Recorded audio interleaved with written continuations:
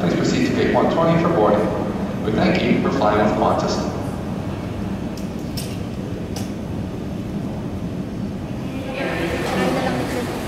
Qantas.